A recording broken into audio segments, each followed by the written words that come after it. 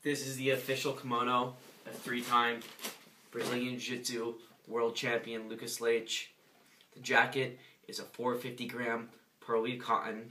Although this is not an official RVCA kimono, the RVCA embroidered logos on the shoulder, the lapel, and the pants are officially approved by RVCA because RVCA is one of Lucas's main sponsors.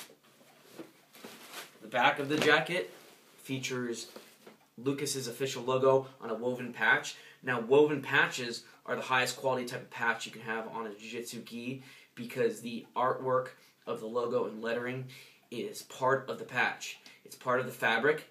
It's not printed on, and sometimes printed on patches uh, can come off after a few uses and a few wash cycles. Below the neckline, there's a RVCA logo going across the shoulder blades. Bottom, backside of the jacket features Lucas's domain name, lucasleitebjj.com.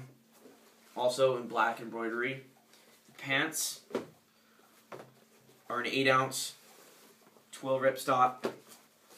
The ankles have the RVCA logo on both sides of the pants.